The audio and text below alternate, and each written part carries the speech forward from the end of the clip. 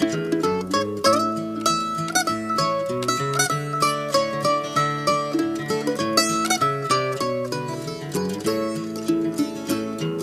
the river of Jordan, our Savior went one day, and we read that John the Baptist met him there. When John baptized Jesus in Jordan's rushing waters, the mighty power of God filled the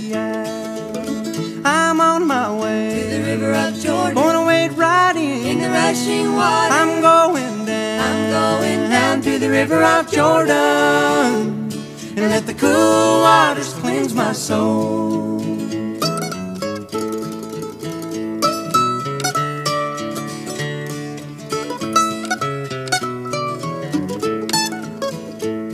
King Naaman was stricken with dreaded leprosy, and he sent for the man of God to pray.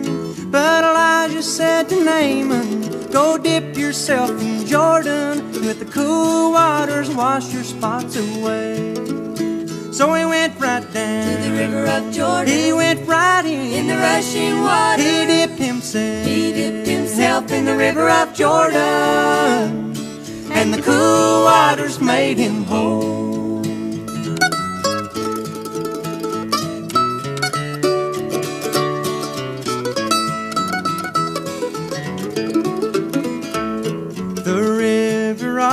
Jordan is many miles away. This mighty river I may never see.